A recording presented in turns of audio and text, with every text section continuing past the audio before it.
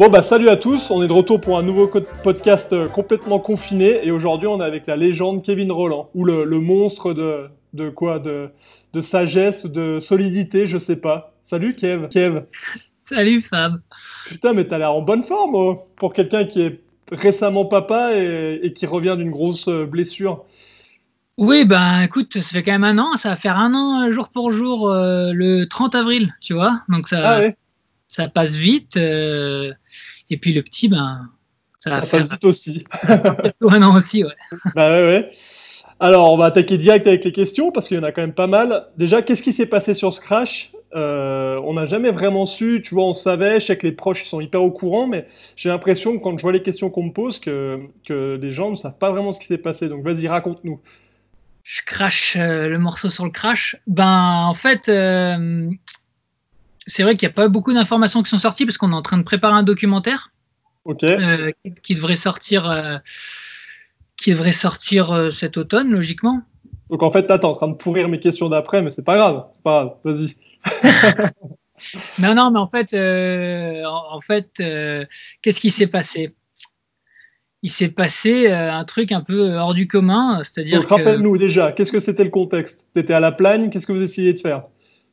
En fait, moi, ça fait peut-être 10 ans, enfin depuis que Simon Dumont a battu le record du monde en 2008, donc euh, une, année, après, je commençais à avoir envie de, battre le record du monde de saut en hauteur aussi, parce que parce que c'est un peu ce que j'ai toujours kiffé, euh, me mettre des tirs dans le half pipe et euh, ben pour moi le, le quarter, voilà, c'est un half pipe et, et j'avais envie de faire ça quoi. Donc c'est ça s'est bien mûri dans, dans ma tête. J'ai essayé de le monter plusieurs fois d'affilée, mais c'était compliqué parce que bah, ça coûte de l'argent, parce qu'il faut la neige, parce qu'il faut que tout soit réuni. Et on va dire que les planètes se sont alignées un peu l'année dernière, en fin de saison, donc à la plagne, pour organiser ce, record du monde de son hauteur. Et euh, bah, tout se passait bien jusqu'à ce que ça se passe mal. ça se passe mal. ok. Il y avait quoi? C'était la, météo? Qu'est-ce qui a fait que... Parce que c'était quand même particulier la météo l'année dernière, donc euh, ça sent le truc un peu de vu de loin où t'as pas eu trop le choix, tu as eu un créneau rapide pour le faire, il a fallu le faire et que ça s'est pas bien passé. Ben en fait, s'est on s'est donné un peu un, créneau d'une semaine et puis euh, tous les jours on montait, tous les jours on essayait. Mais au moment où je voulais y aller, euh, ben, la météo ça se mettait à, se bâcher, donc à devenir euh, complètement jour blanc, et donc c'était un, rideable. Et c'est vrai qu'il restait plus beaucoup de jours, et puis euh, là, il y avait les conditions idéales euh, ce fameux jour, je sais plus quel jour on était, je me rappelle de pas grand chose. mais il faisait soleil, tout était là, et il se trouve que je commençais à côtoyer le record du monde un petit peu, à, à, t'en approcher à m'en approcher. Et au moment où je m'en approche, euh, je, me suis mis une bonne boîte. Je posais super bas. Donc en fait, j'ai trop poussé. Donc quand tu pousses trop, ben, tu, tombes. Euh, tu t'écartes de la courbe, ouais. Du coup, tu te retrouves à poser en bas. Sauf que poser bas dans, un coup, dans une courbe de 6 mètres, bon, bah, tu tombes déjà, de, si tu es monté à, si es monté à 5 mètres, tu tombes de, presque 11 mètres sur euh, du plus ou moins plat. Mais là, la courbe, elle faisait déjà 11 mètres. Donc, je tombais, on va dire, de presque 20 mètres sur, sur un, bas de courbe, quoi. Sur un bas de courbe, donc euh, sur du plat un peu incliné. Et ça m'a scié les jambes. Euh, ça m'a vraiment scié les jambes, mais sauf que j'étais dans mon, mon tourbillon, euh, je sais pas, dans ma tête, j'étais, il fallait que ça, ça marche aujourd'hui. j'étais persuadé que ça allait marcher aujourd'hui. Il y avait tout le monde, il y avait les caméras, il y avait les, il y avait, il y avait 18 caméras. Ouais, les médias, la famille, tout quoi. C'est ça. Donc, j'avais Enfin, c'est pas une c'est pas eux qui me mettaient la pression, c'est moi qui me la mettais tout seul parce que j'avais vraiment envie que ça marche. Et j'ai déjà fait des compétitions où ça s'est mal passé, euh, les runs d'avant et que ça se passe bien après. Donc, je restais un peu dans ce dans ce processus de OK, euh, même si c'est pas allé, c'est le dernier run, ça va marcher quoi. Ouais, Donc, en fait, arrivé à 100, j'ai appris qu'arriver à, à, plus de 100 km/h dans une courbe, eh ben, c'est physiquement euh, encore autre chose qu'arriver à fond dans un half-pipe. Donc, euh, donc j'en ai payé les frais. Hein, vous verrez ça dans le documentaire, mais bon, c'est grosso modo, je, me suis mis une boîte euh, avant même d'avoir d'avoir décollé, quoi. Ok. Et après, du coup, tu as posé ce coup-là, pas en bas de la courbe, mais derrière, la, derrière le pipe, quoi. Voilà, ouais. Ok. Et à ce moment-là, qu'est-ce qui s'est passé? C'est-à-dire Eh ben, ça, t'as, t'as, t'as implosé. T'as eu quoi comme blessure euh, Est-ce que t'es tombé dans le coma? Enfin, vraiment, euh, ça a été chaud, non? Ah bah, ça a été, ça a été très chaud. Alors euh, bon, ce qui s'est passé, moi, je, moi, je me rappelle de plus rien euh, à partir de la chute.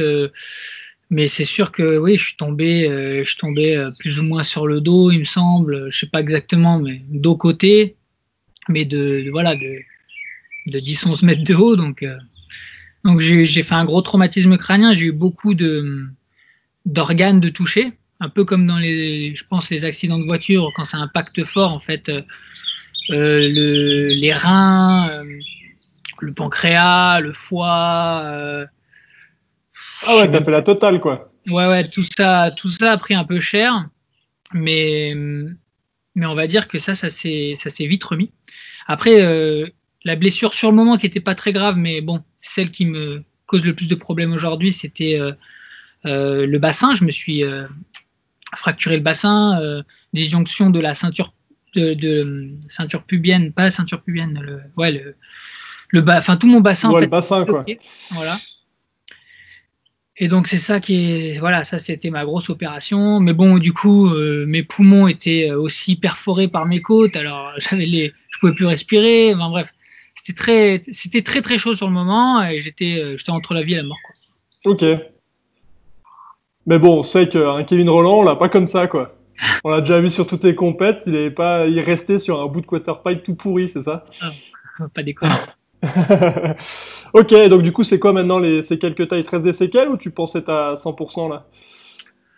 Bon des vraies séquelles euh, oui bah j'ai j'ai quand même une plaque euh, au niveau de la ceinture pubienne une plaque en fer avec euh, avec des vis j'ai une vis euh, sacro-iliaque derrière aussi donc en fait tout ce qui a tout maintenu mon mon bassin T'as une Mais- ceinture de chasteté, quoi. voilà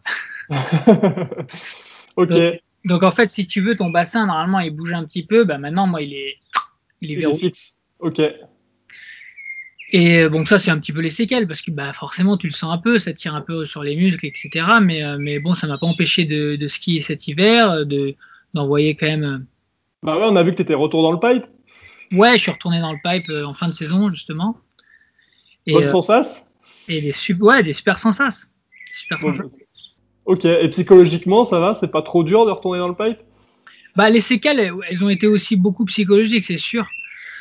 Euh, moi, je me suis dit, c'est comme un ligament croisé, je vais revenir, ça va partir. Voilà. euh, bon, je me suis déjà fait deux croisés. euh, au bout de, au bout de six mois, bah, tu reprends petit à petit, tu as un peu d'appréhension, mais c'est très correct, et puis ça revient. Ouais. Là, c'était un petit peu le stade au-dessus quand même. J'ai forcément, j'ai eu des, de l'appréhension euh, avant de refaire des sauts parce que je me suis dit peut-être que je suis plus pareil. euh, ma tête a quand même tapé fort. euh, Enfin, j'ai des- j'ai de la ferraille euh, dans le corps. Mais, euh, mais j'ai vraiment pris le temps, j'ai vraiment fait petit à petit. J'ai vraiment utilisé tout cet hiver pour, euh, pour me reconstruire euh, ben, psychologiquement et physiquement. Et la fin de saison, ben, c'était vraiment euh, le dernier jour de la saison avant que, la, avant que les stations ferment à cause du confinement. Je, je suis retourné dans le pipe et, j'ai refait des doubles dans le pipe, donc je suis redevenu un petit peu plus ou moins à mon niveau, euh, à mon niveau d'avant. Et, et donc c'était vraiment euh, une, Super cool, quoi. ouais, c'est une super concrétisation de ce que je voulais faire, quoi. Donc j'étais content. Donc on verra ça dans le reportage. Euh, on verra ça. Alors pas, pas les derniers jours, mais peut-être, je sais pas encore. À voir, ok. Donc moi, je t'ai connu, c'était mon premier souvenir de toi, c'est en te mettant une branlée à Virtua Tennis 2 sur, euh, ouais, ouais, ouais, ouais, ouais, ouais, sur une console chez Julien Régnier, tu vois. Je sais plus, on jouait sur PlayStation peut-être, Virtua Tennis. Mais t'étais pas encore, et ouais, t'étais pas encore majeur. Je jouais avec ça avec Greg quand Greg il habitait aussi chez Julien. Et, euh, et en fait, t'as toujours été sur la scène freestyle française et et t'as toujours été hyper bien entouré, donc avec Greg, comme je disais, qui était ton entraîneur.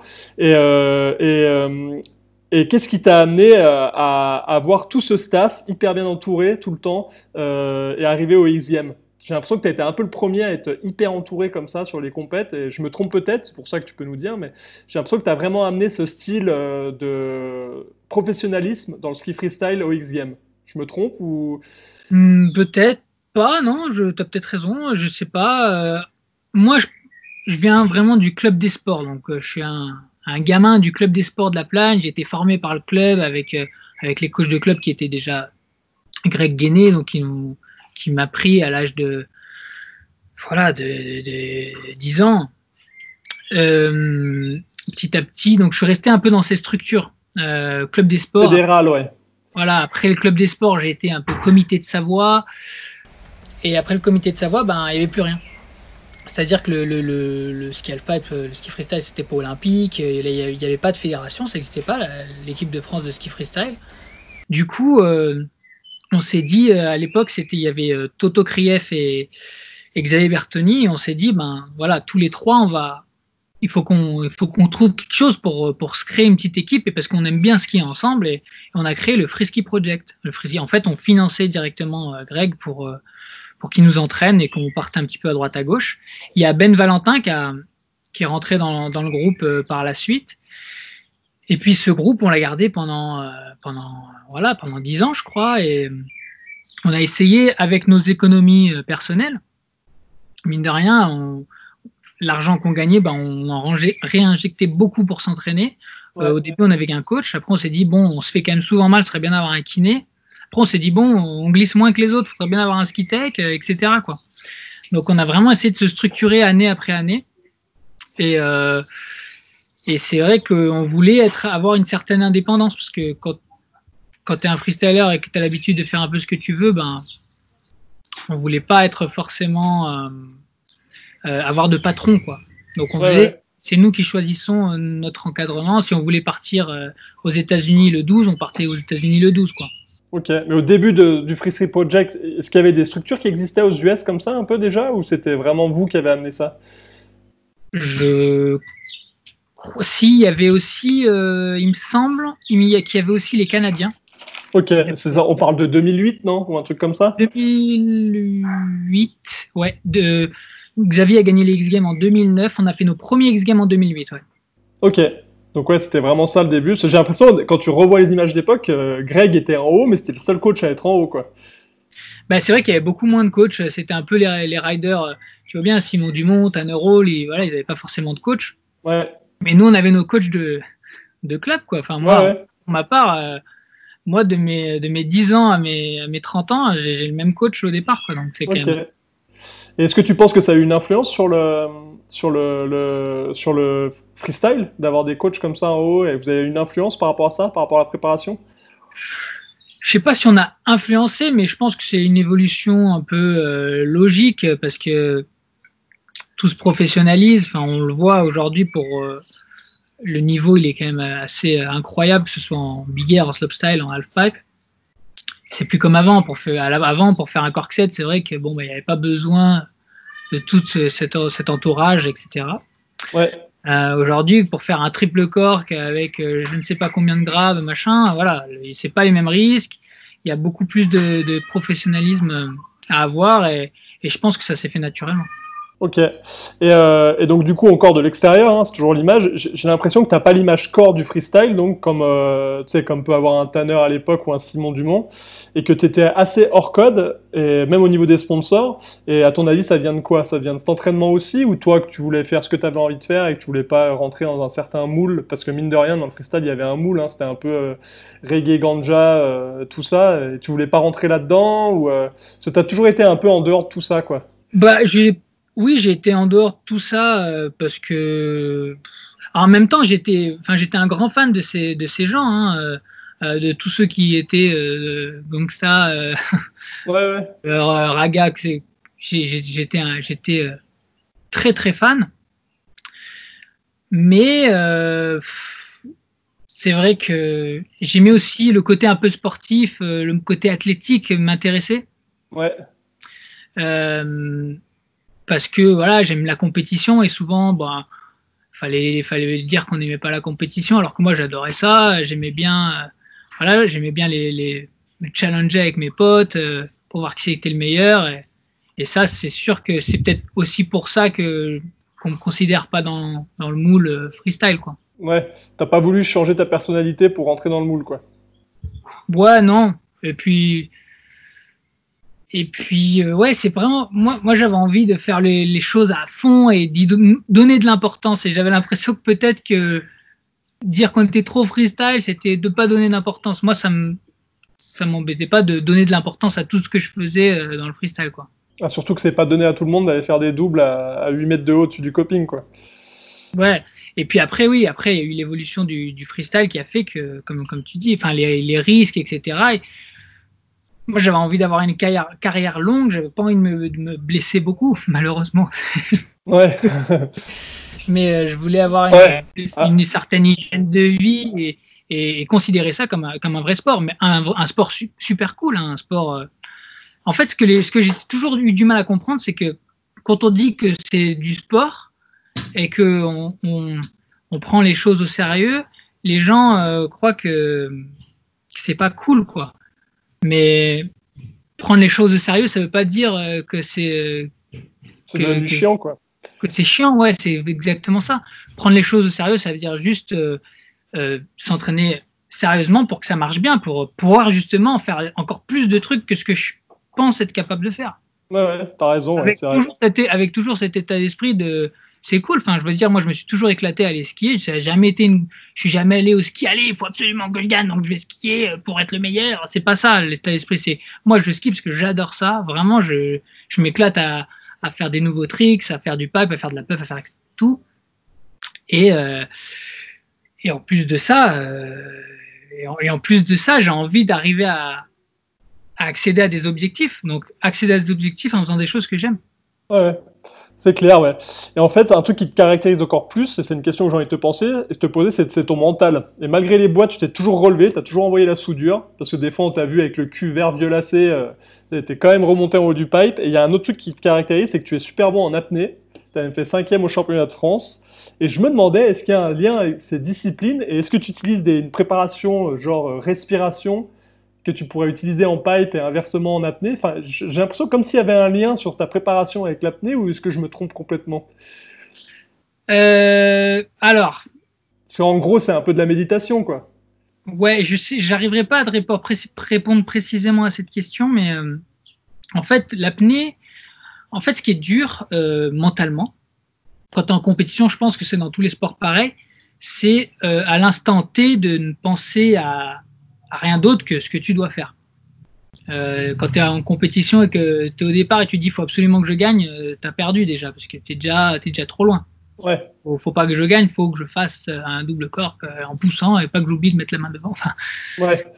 Et en apnée, en apnée, je trouve que ça se fait naturellement, c'est-à-dire que dès que je vais sous l'eau et que je descends en profondeur, partir du moment où, où bah, j'ai pas j'ai pas le temps de penser à plus tard, je suis ok, bah là je suis en train de descendre, donc je pense à rien, je pense juste à ce que je suis en train, je suis dans le présent quoi.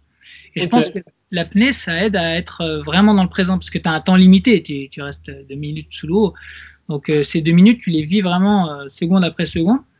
Et c'est ce qui est super dur à faire dans dans le sport, je trouve, c'est de c'est d'être dans le moment présent, surtout avec le la pression, euh, le stress, l'enjeu, etc., d'être au moment, voilà, saut après saut, euh, c'est pas facile.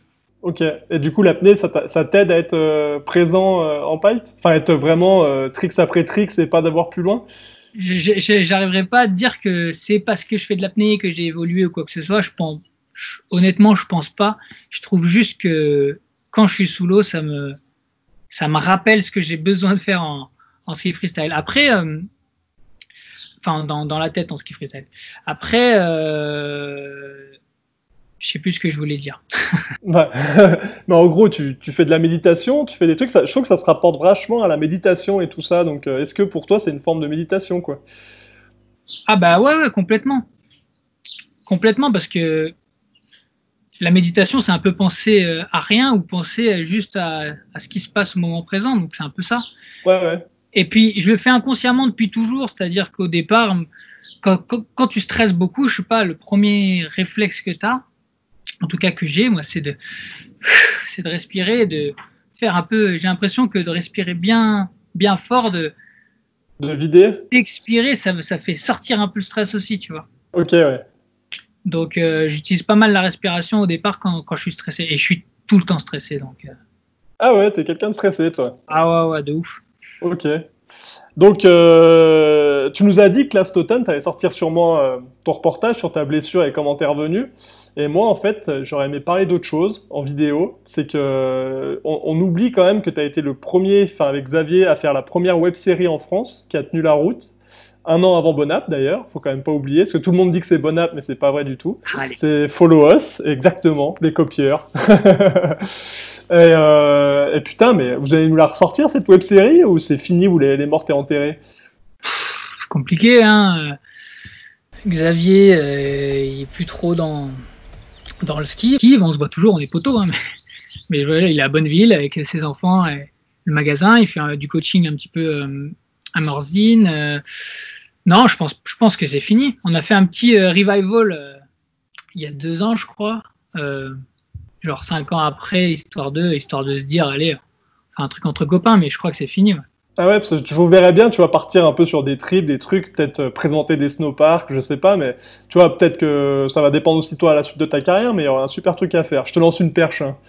En tout cas, moi, je, le visualise super bien. C'est intéressant, parce que moi, Xav, c'est mon pote, hein, c'est vraiment mon, mon poteau, je suis, je suis, le parrain de sa fille, et on, on, se marre tellement, en fait. C'est juste qu'on se marre hein, quand on est ensemble, quand on skie ensemble, euh, avec ou sans caméra. Hein. Ah ouais il, a, tellement la connerie que on fait que se marrer, donc... Euh, s'il y a des projets à faire euh, ensemble, je serai le premier. Euh, je serai le premier partant. Après, c'est sûr que ce ne sera pas du follow parce que follow ça, ça a bien vécu. On a fait ça pendant 5 ans. C'était cool. Mais je pense que voilà, dans la vie, il faut faire, faire des trucs, il faut évoluer. On ne va pas revenir en arrière, refaire des follow comme en 2010. Ok, donc ça veut dire que Louis de Funès qui refera jamais Fantomas, c'est ça que tu es en train de me dire? Tu es en train de me péter le. Ah, mais il est mort, merde, ok. euh, on va passer aux questions des Instagrammeurs. T'es prêt? Yes. Il y en a 10. Donc il y a Nico qui demande déjà est-ce qu'un jour tu penses faire un tour sur le Freeride World Tour? Euh, Franchement, je, pense pas. J'aimerais, mais je pense pas avoir le niveau en freeride. Je pense que si je fais du freeride, ce sera plutôt avec des conditions magnifiques, avec de la super neige, et c'est pas forcément ce qu'on trouve sur le freeride World Tour. Ok, t'as raison. Il euh, y a Nathan qui demande le mec qui t'inspire le plus en ce moment, que ce soit en ski ou un autre sport, quoi. Le mec qui m'inspire le plus en ce moment. Euh, attends, je réfléchis. Euh, bah, trouve Tannereau, quand même, mine de rien, ça a toujours été. J'ai toujours été très admiratif de ce qu'il fait. Mais je trouve que là, il doit avoir quoi 36, 37 ans et. 37 ans. 37 ans? Ouais, un an de plus que moi, ouais, putain. il est encore en train de, c'est encore, euh, il est encore en train de déchirer le street, le snowpark, le freeride, euh, le backcountry. Je trouve ça super inspirant parce que, ben, en vieillissant, forcément, on, on s'identifie aussi aux, gens qui vieillissent bien dans, dans le sport, quoi. Ouais, ouais. Ok. Il euh, y a Francouille qui demande c'est quoi ta plus grande fierté? Médaille au JO ou victoire au X-Game ah, Victor X Game, c'est sûr. Parce que euh, médaille au JO, c'était pas. Euh, j'aurais gagné, ça aurait été une fierté, mais bon, j'ai pas gagné. Les X Games, je les ai gagnés. Ouais, mais disons que ça soulève un truc. Est-ce que euh, tu es plus fier du côté un peu plus score des X Games d'avoir gagné ou d'avoir représenté ta nation au JO, quoi?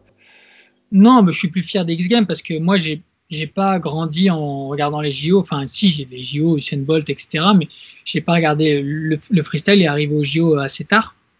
Donc, euh, moi, la première fois que j'ai gagné euh, les X Games, euh, le ski freestyle n'était pas aux Jeux Olympiques. Et donc, toute ma jeunesse, j'ai regardé, j'ai regardé les, bah, les Tanero, les Candy Tovek, les, Simon Dumont aux X Games à, à Aspen. Je me levais la nuit et tout. Et donc les gagner, c'était euh, le plus beau rêve euh, de ma vie quand j'étais plus jeune. Ok.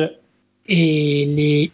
et après, il y a aussi le contexte qui a fait que les Jeux Olympiques, bah, c'était pas une belle compétition, c'était plus, euh, fallait s'adapter. C'était sportivement, c'était intéressant, mais, mais c'était pas mon rêve, quoi.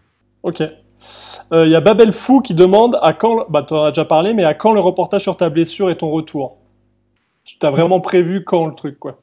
J'ai pas de date, euh, j'ai pas de date à, donner, mais je sais que euh, on est en train de travailler sur le sur le docu, que ça va être assez intense parce qu'il y, bah, y, avait eu, en fait, en même temps qu'il y a eu l'accident, il y a eu aussi la naissance de, de mon fils, donc euh, donc ça crée une histoire quand même assez particulière. Ok. Donc on, on est cette année en tout cas pour 2020. Ouais ouais, c'est 2020 normalement. Ok. Il y a Albert de Preciosa qui demande a-t-il couché oui ou non avec Louis Garnier Bon, en gros, c'est comment ah, il va, bah, Loulou Alors, Louis Garnier, si j'ai couché. Oh, il y a une guêpe, pardon.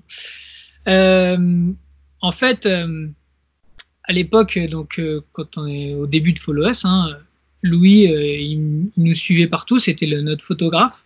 Soit il dormait moquette parce qu'on n'avait pas le budget pour lui prendre une chambre, soit des fois, quand j'avais un lit double, bah, j'autorisais qu'il dorme avec moi. Donc, on a, on a pas mal dormi ensemble. Ok. Et il à quoi, Loulou? Bah, Loulou, il est à Chambéry, il fait des photos euh, un peu à droite à gauche. Toujours, si, on a si, on a besoin d'un artiste photographe, c'est là où on se tourne. Quoi. Exactement. Alors, il y a Like Event, donc c'est ceux qui organisent le high five, qui demandent c'est quoi le plus dur, arriver au sommet ou y rester? Bah, C'est y rester. Ce qui est dur, c'est d'y rester longtemps. Parce qu'arriver au, au, sommet, euh, faut vraiment pas faire de concessions, tout donner pendant, euh, pendant un certain, certain moment, et puis à bout d'un moment, tu y arrives. Mais le truc, c'est qu'une fois que tu es arrivé, si tu continues pas tout ce que tu as fait avant, à, redoubler d'efforts, bah, tu, tu, te fais battre, quoi, c'est sûr. Ok. Il y a Achille qui demande a-t-il l'intention de reprendre des compétitions l'année prochaine? Alors, euh, oui, oui, j'aimerais bien. C'est un, un, souhait, en tout cas. Euh, euh, mais pour ça, vu que j'ai pas fait beaucoup de pipe cet hiver, à part en fin de saison, comme je le disais tout à l'heure, il va falloir que, que je m'entraîne et donc ça va. Cet été et cet automne vont être déterminants parce que si je reprends la compétition, euh, c'est pour, c'est pour avoir quelque chose à y faire. Quoi. Si c'est juste participer, terminer 12e, ça ne t'intéresse pas. mais, mais, mais, bon, j'ai de, j'ai de gros espoirs.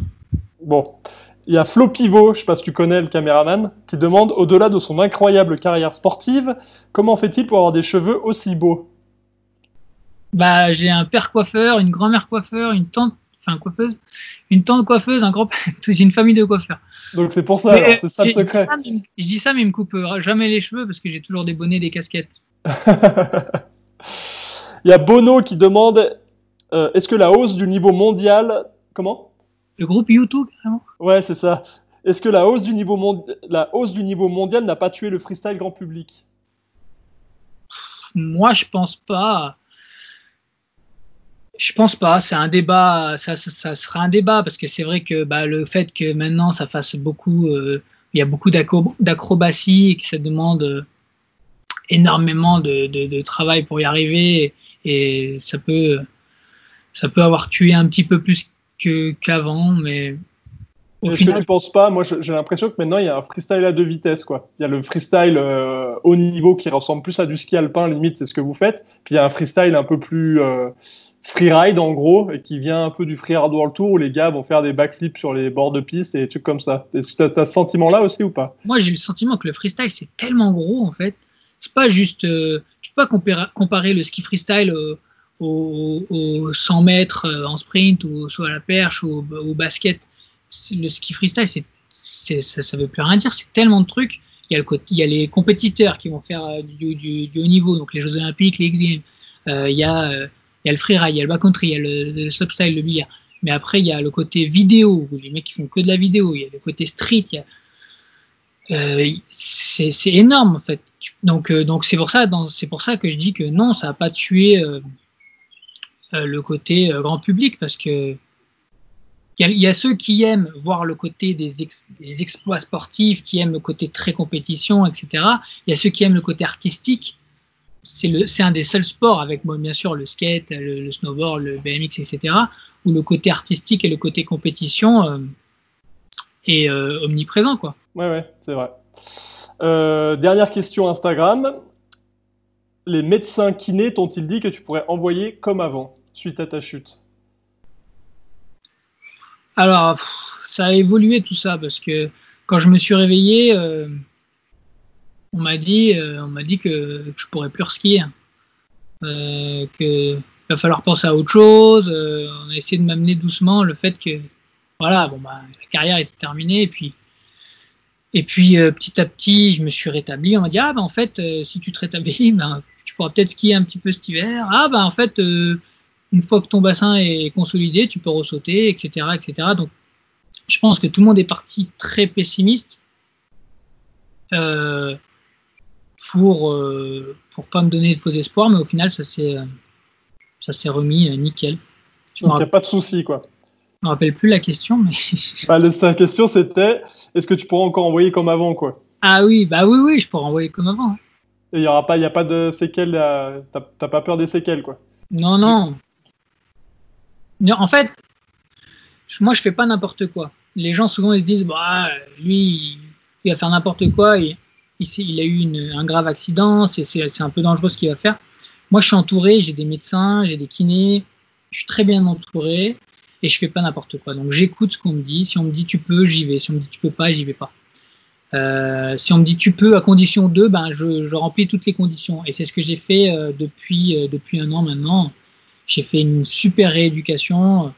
J'ai rien laissé au hasard, c'est-à-dire que j'ai fait exactement tout ce qu'on m'a dit. Le kiné, j'ai fait exactement tout ce qu'on m'a dit. La préparation physique, j'ai fait exactement tout ce qu'on m'a dit. Pas plus, pas moins, pour vraiment rester dans, dans, voilà, dans, dans, le cadre cadre qu'on m'a donné. Quoi. Et, puis, euh, et puis ça porte ses fruits parce que ben, cet hiver, moi, je pensais pas je pensais pas reskier aussitôt, je pensais pas reskier aussi bien, aussi rapidement. Voilà, je me sens, je me sens super bien aujourd'hui. Bon bah cool. Donc là, j'ai des dernières petites questions rapides. Rancho ou Bonap Bah Rancho parce que Bonap euh, c'est fini un peu. Oh putain. Roblochon ou Beaufort? Beaufort. C'est bien, ça voit. Booba ou de la bonne musique? Ah, Booba. T'es plutôt photo ou vidéo? Euh, je suis plutôt vidéo. Et la dernière, papa ou athlète? Bah papa. Eh bah oui, papa. Bon, bah t'as un truc à ajouter qu'on n'a pas parlé? Euh... Non. Euh, bon? C'était très cool de parler avec toi. Si, bah, euh, parce que je t'ai pas posé beaucoup de questions. Toi, tu vas bien? Euh, Moi, ça va super bien. J'ai le rhume des foins, c'est tout. Je vais bientôt me supprimer à cause de ça, mais sinon, ça va. bien.